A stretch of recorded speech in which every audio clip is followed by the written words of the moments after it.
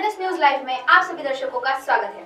खबरों की ओर बढ़ने से पहले एक नज़र आज की हेडलाइंस की ओर। नागपुर में 30 नवंबर से शुरू होगा खासदार सांस्कृतिक महोत्सव। आईएसआरओ ने 19 को लॉन्च किया हीज आईएस सैटेलाइट आरएलएसपी नेता की हत्या पर बवाल। सीईओ को बनाया बंधक। कटनी में घर में घुसकर सोते परिवार पर जानलेवा हमला। 78 प्रतिशत हुआ मतदान। अब खबरें विस्तार से। केंद्रीय मंत्री नितिन गडकरी इनकी संकल्पना में साकार हुए खासदार सांस्कृतिक महोत्सव 30 नवंबर से शुरू हो रहा है। इस महोत्सव से उपराजधानी के सांस्कृतिक क्षेत्रों में बड़ा ही उत्साह भरा वातावरण है।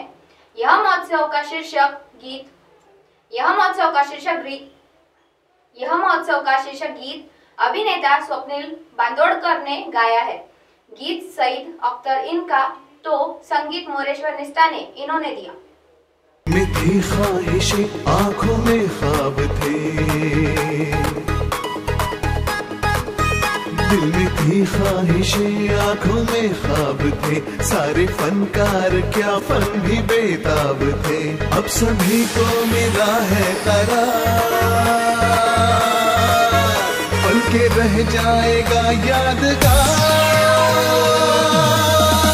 बहुत सब शानदार, बहुत सब खासदार। बेंगलुरु।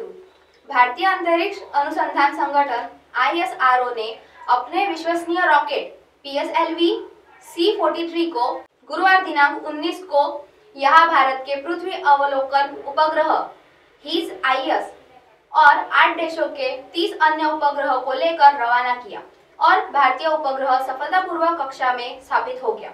मोतिहारी, पूर्वी चंपारण के पकड़ी दयाल में आरएलएसपी नेता की हत्या के बाद बवाल मच गया।